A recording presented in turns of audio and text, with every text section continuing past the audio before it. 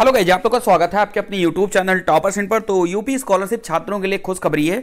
जैसा कि बहुत सारे छात्र ऐसे हैं जिन लोगों का फॉर्म बिल्कुल सही है। आप लोगों ने स्टेटस भी देखा होगा। उनका सब जगह पर जो है वेरीफाइड है और उनको रिकमेंड भी कर दिया गया है उनकी स्कॉलरशिप को लेकर के। तो आप सभी लोगों के मन में बहुत सारे सवाल हैं कि अगर मेरा फॉर्म जो है बिल्कुल सही है तो मेरी स्कॉलरशिप क्यों नहीं आ रही है? और आखिर कब तक आएगी? बहुत सारे छात्रों का ये सवाल है।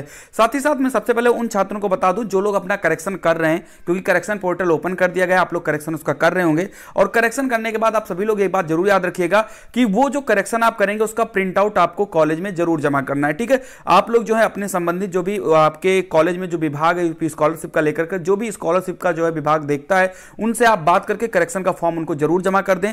और भी अगर कोई डाउट है तो आप लोग कमेंट करके ज़रूर पूछा करिए, ठीक है? तो चलिए बात करते हैं, कौन सी आज की अपडेट है? तो सभी साथी तो पहले चैनल को सब्सक्राइब कर लें तो क्योंकि अभी आप लोगों का स्टेटस कई बार बदलेगा और कई सारी चीज़ें इसमें देखने को नई नई चीज़ें मिलेंगी। पिछले बार भी तीन से चार बार आपका स्कॉलरशिप का स्टेटस बदला था तो जो भी अपडेट होगी आपको इस चैनल के माध्यम से बताई जाएगी। तो चलिए देखते हैं क्या अपडेट निकल कर आई है। तो आप देख सकते हो, ये आज ही का न्यूज़पेपर है, ठीक है?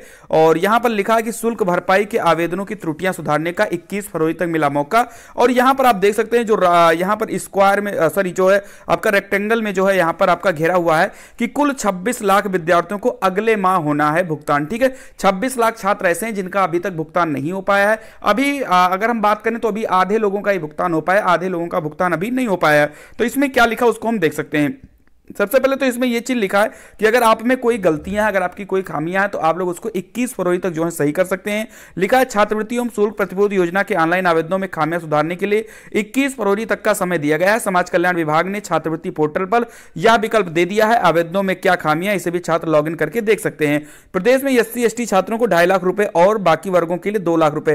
तो ये सारी चीज़ें तो मैंने सुबह आपको बता दी थी। सुबह के भी अपडेट में मैंने ऐसी जो है अपडेट बताई थी आपको। लेकिन इस समय अगर जो मैं बताने की कोशिश कर रहा हूँ ये कर रहा हूँ कि आप लोगों को 25 मार्च तक का जो है इंतज़ार करना होगा, ठीक है? जिन लोगों का फॉर्म बिल्कुल सही है, उन लोगों को 25 मार्च तक जो है इंतज़ार करना होगा। और जिन लोगों का फॉर्म नहीं सही है, कोई करेक्शन है तो आप लोग करेक्शन करवा के उसका प्रिंट आउट जो है आप कॉलेज में जमा कर देंगे। तो अभी स्कॉलरशिप स्टेटस कई बात बदलेगा, आपका फिर सही हो जाएगा और आप लोगों को भी इसका लाभ मिलेगा। यानी कि पच्चीस मार्च के अंदर आप सभी लोगों के पास जो है स्कॉलरशिप की अच्छी खासी रकम जो है भेजी जा सकती है, ठीक है? तो इसलिए चैनल को ज़रूर सब्सक्राइब करें ताकि ऐसा ना हो कि आपको कोई अपडेट मिस हो जाए आपके, आपसे। और आप लोगों को इसका फ़ायदा ना मिले। तो ऐसा कोशिश करिए कि आप सभी लोग जो है इसको सही कर लीजिए, जिन लोगों का भी जो करेक्शन है। मैंने ऑलरेडी आप सभी लोगों को बता दिया कि आपका कैसे सही होगा।